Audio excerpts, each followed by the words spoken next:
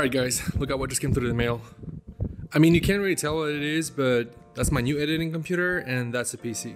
That video is gonna be a little different than my usual videos. Uh, usually my videos are really structured and thought out and this is gonna be more of me just talking and rambling about stuff because I got my computer today and I, I was in the mood of doing that. So this video is gonna be a lot of me talking and a little bit of showing, but uh, like not showing, like showing stuff I got. Check this out. This is my new editing machine. Uh, it's not built yet, obviously, but I laid out all the components so you can see what I got inside of it. So let's start with storage. So I have a one terabyte Samsung SSD. These are extremely fast um, and I don't need more than one terabyte because I'm essentially editing everything off Samsung T5s. If you want to know more about my editing workflow, I'll have a video linked up there. Uh, next, let's talk about RAM. So this is 128 gig of RAM, uh, HyperX, and they will be going on the X570E motherboard. Uh, and they're actually maxing out the capabilities of the motherboard, but I'm cool with that because 128 is a lot of RAM. So I'll be, I'm, I'm good. Now let's talk about the um, GPU. So I got the GeForce RTX 3070. Um, this was a bitch to get, to be honest. For some reasons, there seemed to be out of stock like worldwide. And luckily for me, um, the store I bought it from had five in stock uh, all of a sudden. So when I saw that they had five in stock, I bought that immediately. Uh, but then they were out of stock in like five minutes. I don't understand this craze about you know GPU and CPUs, but all that matters is that I have the GPU I wanted. Now let's talk about fans. So I got the Noctua NH-U12S, uh, all black, because this whole setup is gonna be all black everything, I mean, as black as possible. And this is the case I got. So this is the Corsair 4000D, uh, all black. Obviously it has some nice, it has some nice yellow touches uh, here and there.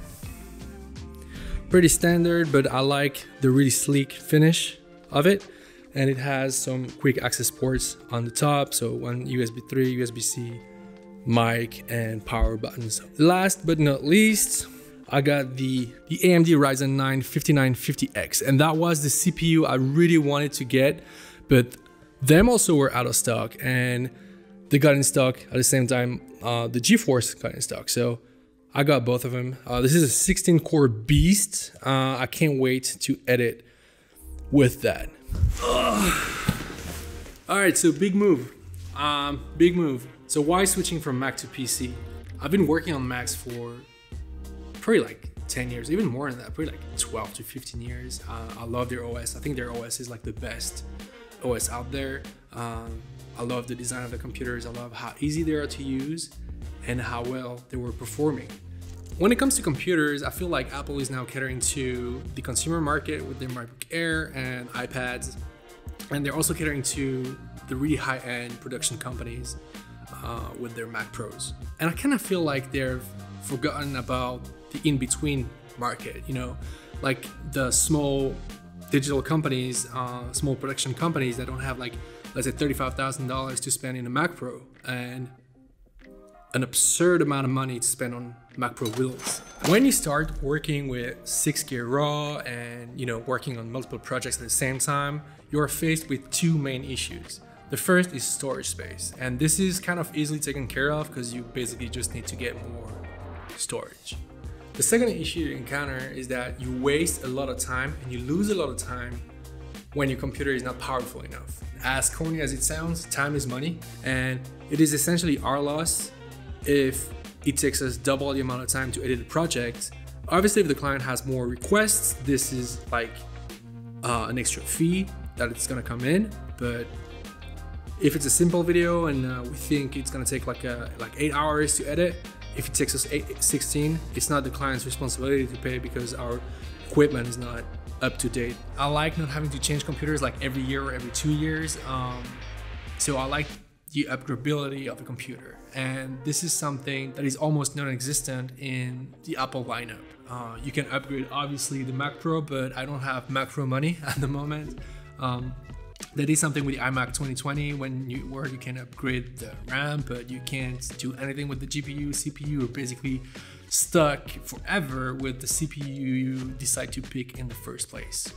So when I had to decide if I really wanted to jump onto the PC train, um, I took an external SSD and I went to my nephew's house, and he has a gaming computer, um, like mid-level gaming computer. It's not something like extraordinary. Uh, it's not something really bad. But then uh, installed Premiere on that, and I tried to edit like a little bit, and the export time was actually like five times faster than my MacBook Pro. And I was like, what the fuck? I paid like over 3K for my MacBook Pro like a couple years ago, and this like $1,200 computer is actually beating it like it's not even a competition at that point. Yeah, I'm lucky enough I'm not a Final Cut editor, so I'm not married to Mac OS for editing. Um, Premiere and After Effects are basically the same softwares. Um, I'll just have to get used to like some short shortcuts and using Control instead of Command, but I mean, I have my habits, but this is, I think it's doable. I'm still gonna use my MacBook Pro for all the admin work and, uh, and all the editing on the go. That's why I'm using Samsung T5s because I can basically go from my MacBook to my editing PC uh, without too much of um, troubles. So yeah, um, time will tell. I'm so eager to work on that new uh, computer. Uh, it's gonna help me go through edits faster. It's gonna help me uh, with uh, rendering time. I'm not gonna have as many drop frames, hopefully, uh, as I do now. And yeah, I'll keep you guys updated how it goes. Uh, I'm sure it's gonna go just fine. It's just uh, Windows, man. But ooh, sorry, yeah, Windows. Uh, I don't like the OS, but uh, I'm gonna have to get used to it now. So that's pretty, uh, it's pretty cool. I'm really excited, and I've been talking for way too long now. So I'll see you in the next one, guys. Peace out.